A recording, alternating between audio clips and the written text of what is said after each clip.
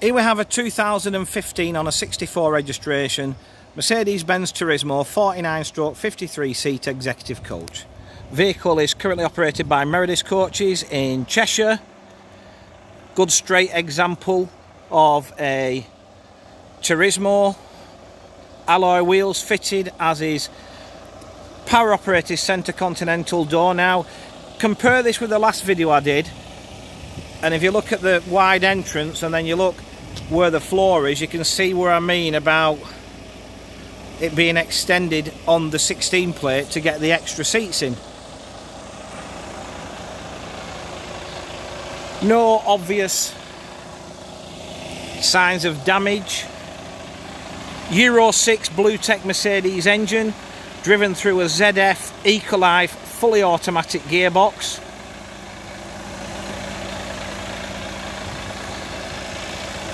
Near side, again, equally as straight. Lockers are centrally locked from the dashboard. Tourismos, there is a little bit of work going on over the front axle at the moment, so just take no notice of that, but uh, Tourismos do tend to have very good luggage space, as you can see. As we jump on board, now I know that looks mucky, it isn't. Trust me, it's the floor. It's kind of a marble effect lino. Actually looks quite nice in real life. I don't think the video or the photographs will do it justice. But we have 49 reclining seats. These are fitted with three-point seat belts, sideways movement, leather piping and headrest, tables to the seat backs. And I have to be honest I do like this interior. Now people are going to say you do quite often comment you don't like black and red in a coach. Well it depends how. If it's like got loads of red gaudy pattern no I don't. But this being just like a fleck it's quite subtle. It's actually darker in real life than you're seeing. Um, it's quite a got quite a corporate look about it. Vehicle is air conditioned. It's wired for DVD with two fixed monitors. We have a center sunken demountable toilet in this vehicle so this vehicle will upseat to 53 standard.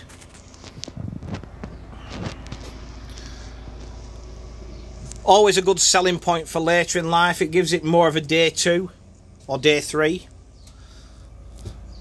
whichever way you look at it.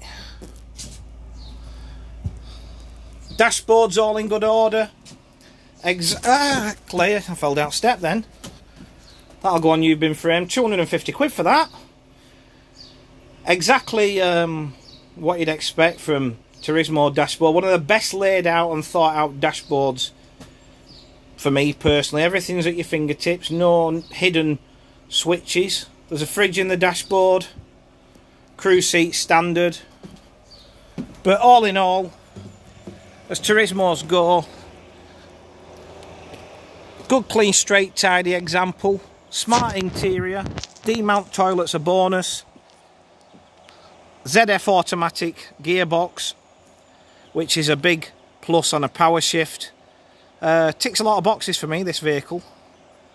So to recap it's a 2015 on a 64 registration Mercedes-Benz Tourismo 49 stroke 53 seat demountable executive coach.